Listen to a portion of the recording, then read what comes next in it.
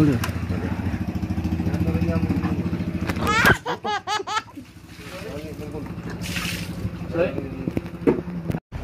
Yan mga kamix, ah, panibagong araw, panibagong vlog na naman tayo ngayon. Ah, sa ngayon, dito kami nakatali lagi sa ano sa payo o buya. Kasi malakas yung ano, hangin. At saka alon.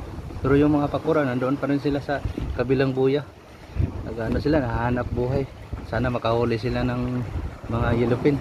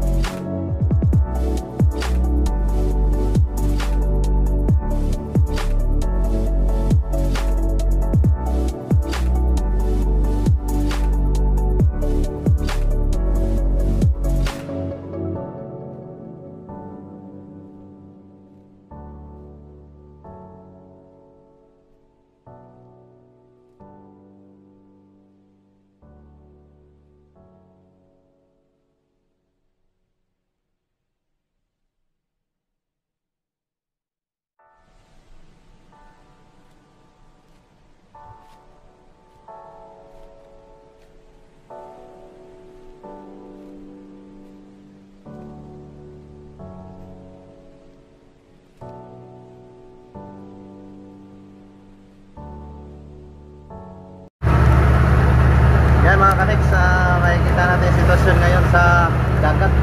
Malakas yung hangin at saka alon.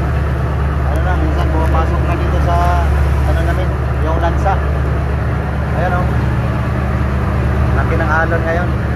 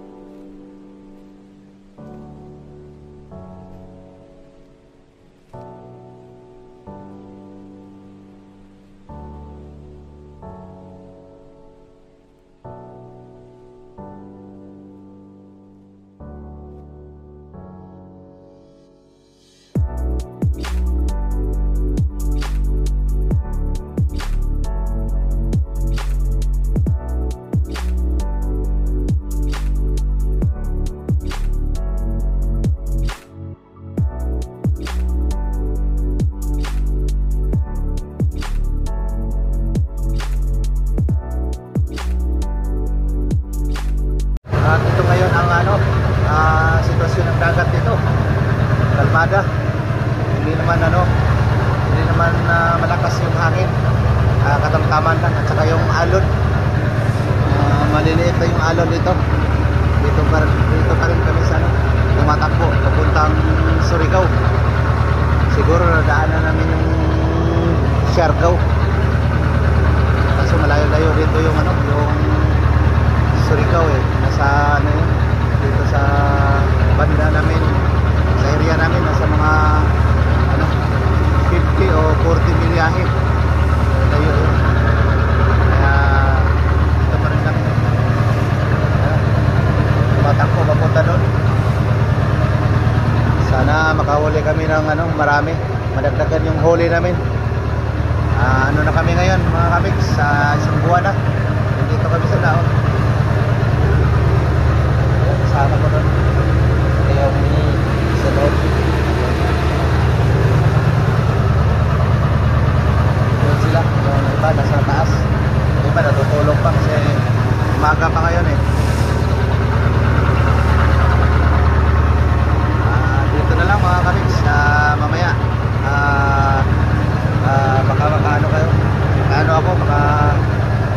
ako pagdating doon sa mga payaw o buya.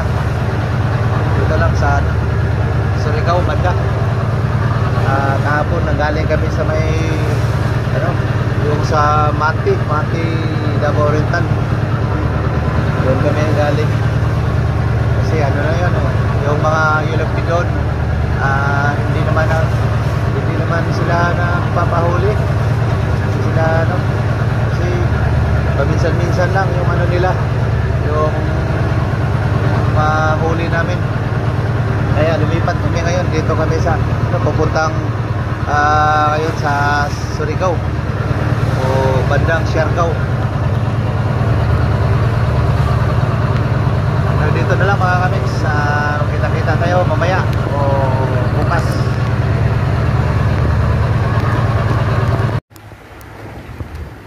Saka yan ang ano ah, sitwasyon ngayon sa umaga na to.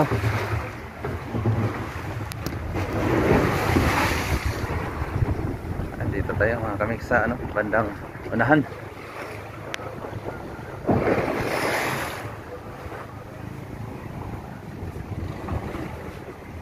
Isang pakura ano, pupunta yata dito. Tuloy-tuloy pa rin na yung pagano natin. Pag bibilad ng tuyo.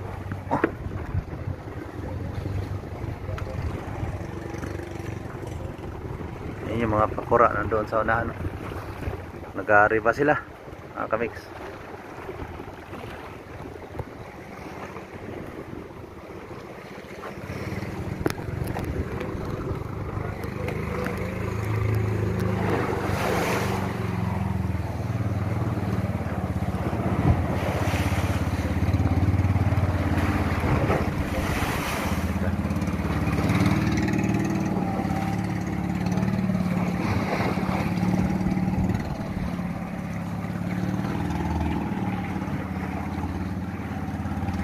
Maalon ngayon at saka ano, medyo makulimlim yung kalangitan. Sa ngayon mga kamix yung ano, malakas yung agos din ng ano, dagat. Kaya mamaya tayo mag ano, magbira-bira o ang tawag hila, hila-hila.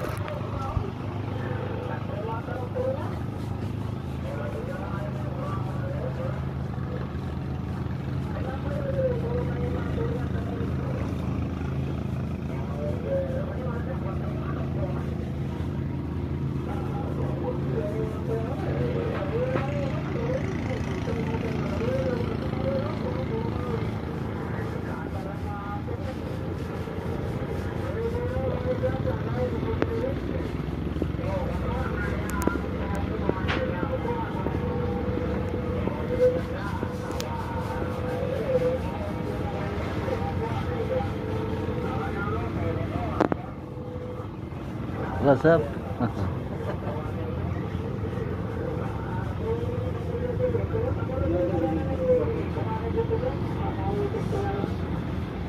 Cần ăn đây không